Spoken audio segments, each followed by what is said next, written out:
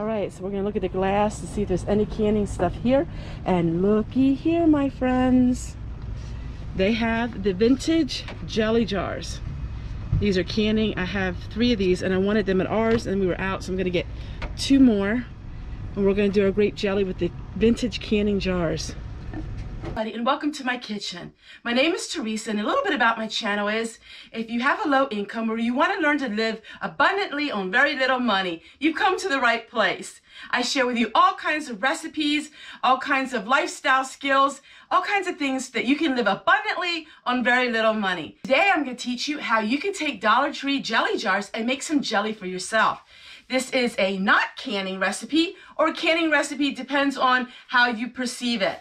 So let me show you why. Take a very old-fashioned recipe. We're going to use paraffin wax and that way we can preserve our jelly and we don't have to use those costly lids, the lids that are becoming in shortage right now.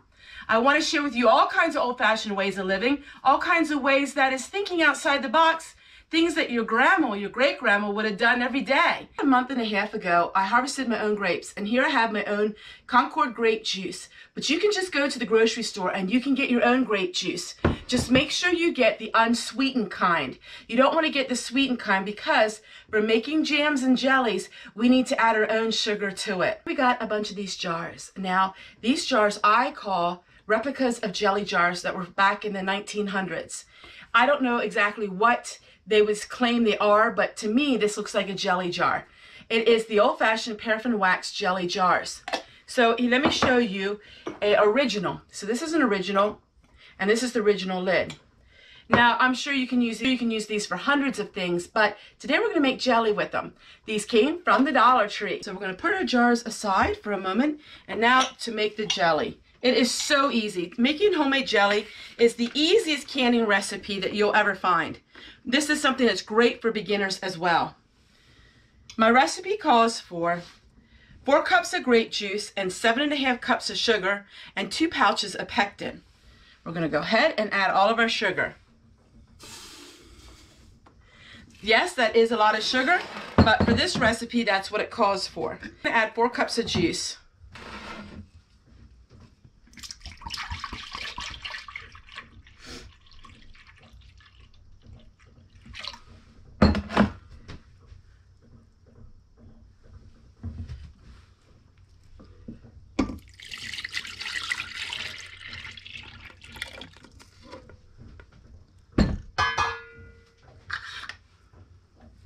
We're gonna go ahead and turn our little stove top on. It's my induction cooktop. I really enjoy having this. It just gives you an extra burner and when you need it. What we're gonna do is we're gonna go ahead and we're gonna bring this up to a slow boil.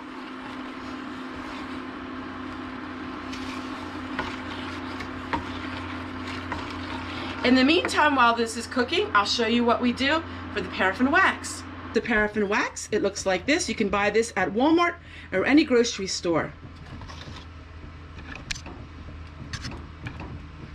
My thrift store often carries it, so I get it for like a quarter. Now it is rather expensive in different people's areas. Some people's dollar stores, like the Dollar Family Dollar, carries this very reasonable. It just depends on your state. We're gonna go ahead and we melt that in a double boiler. As you see, I just put my own double boiler together. Making jams and jellies, you don't want to double the recipe because usually it doesn't turn out very good.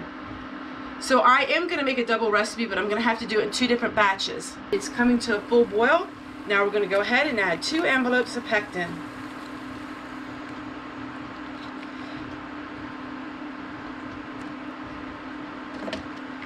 Did you know that pectin is made from apples?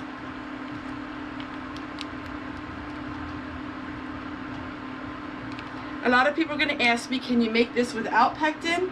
I'm sure you could, but I'm not very skilled in that, and so I always use pectin. I also want to point out this is not USDA approved. Now, it was approved back in the early 1900s, and then it became non-approved. But if you know the scientific facts of making jams and jelly with a high sugar content, it is fine using the method with the paraffin wax because jams and jellies, the mold does not go throughout them like it would if you would have low acid foods. I really won't get into that because some people really get themselves in a uproar over it. But I'm just stating that I make it this way. All right, now, if you don't like having any of the, uh, if you don't like having the top part where it's like all frothy, you can add a little bit of butter and that will clarify your jams. Now it really doesn't matter, it just doesn't look as pretty when you pour it in the jars. So we'll go ahead and wait until that butter is melted good. Now all we have to do is pour it into our jars because it is ready to go.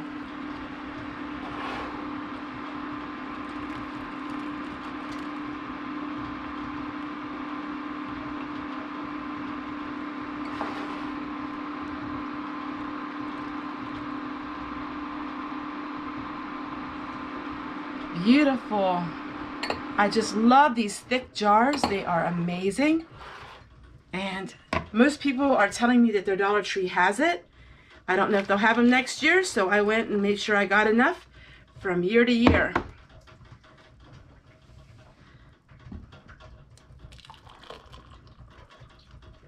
Also, grape jelly is good in making homemade meatballs. You can use grape jelly in all kinds of wonderful recipes. This does look like a larger jar to put so much jelly in.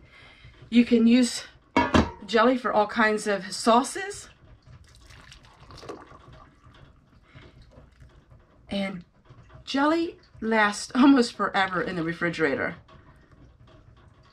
But if canning lids are low at your area, here's a way that you can preserve some food without using any canning lids. All right, so I am actually going to be baking another batch and I'll show you when the next step is putting the wax on. We're going to let this sit for about 10 minutes and then we'll go ahead and we'll pour our wax on top. It's very important you have to have the wax on top because you need to have a barrier from the air.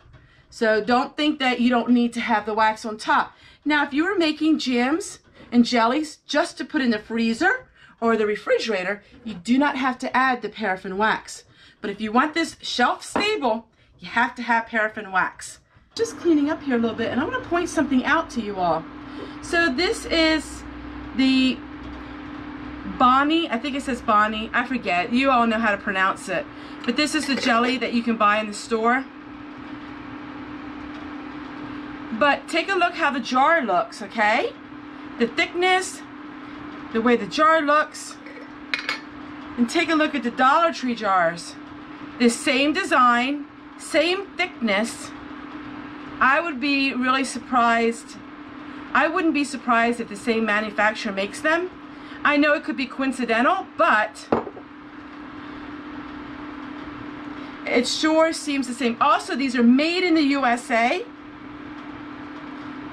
They call them storage jars, but they are so thick and heavy, it looks the same to me. And I think it's perfect to can with these. With jams and jellies, that means. Just jams and jellies. Those of you who watch my videos seen me do this numerous times. We're just going to take one small coat of wax. The wax will always stay on the top. And it's very easy to tell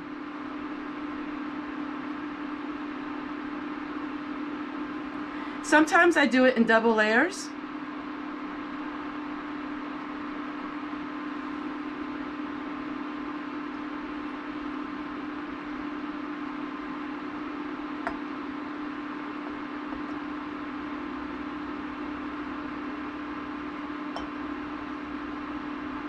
All right, looks good. So uh, what I'm going to do is I'm going to just wait a little bit and then we'll see how far the wax layers went. All right, so this is what the jelly looks like. It's turned out perfect. And all we have to do is put the lids on it and put it in our pantry and it will last you for many years. I hope you enjoyed this tutorial and think outside the box. Take a look at Dollar Tree. You can have a lot of items from there.